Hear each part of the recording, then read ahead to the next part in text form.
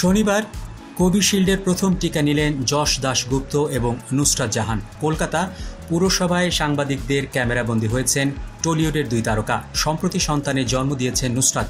অন্তঃসত্ত্বা ছিলেন বলেই নাকি প্রথম টিকা নিতে দেরি হলো, এমনটাই জানা গিয়েছে পুরসভা মারফত। কিন্তু যশ কেন টিকা নেননি? তিনি কি এই সময় নুসরাতের সঙ্গে ছিলেন বলেই টিকা নিতে দেরি করলেন?